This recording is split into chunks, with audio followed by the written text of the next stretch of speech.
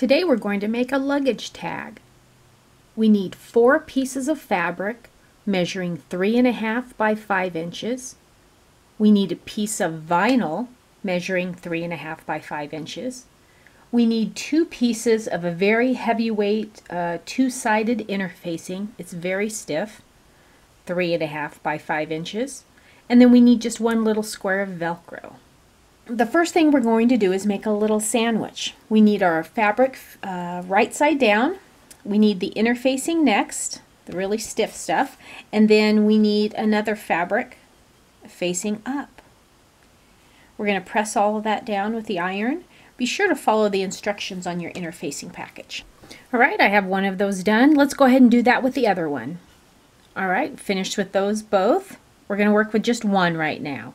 We're going to measure in 3 fourths of an inch from each side and mark that.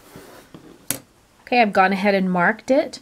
Now in this section, this 3 fourths we're leaving the 3 fourths around. We're going to actually cut out this window here. So I've gone ahead and I've used my ruler to actually draw straight lines where that 3 fourths inch is. That might be a smart thing to do.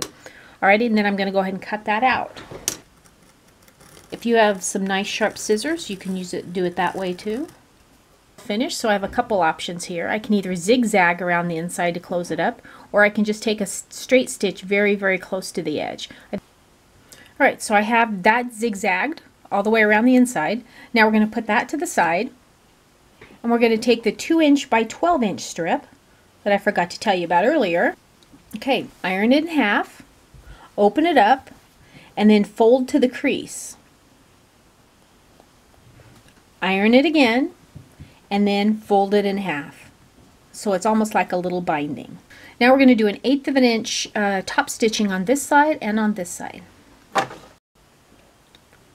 Now that we have that top stitched on both sides, we're going to grab the solid piece, the one we haven't cut yet.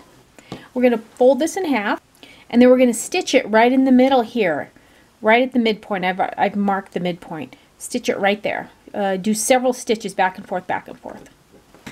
Now we're going to take the Velcro and sew it right at the edge over the top of the uh, strap we just uh, sewed down. Be really careful when you're sewing this because we're talking a lot of layers now. Alright, I have the Velcro on there. That's that crunchy side. Now we need to uh, work with the other piece. So we're going to set that aside for just a little bit. Okay, we're going to work with this piece now. Um, this is my front. I can tell this is my back just because my zigzag doesn't look as pretty. Um, so on the back piece, I'm going to put the vinyl right across the top. Looks like maybe I cut it a little too big. I'll have to do some trimming.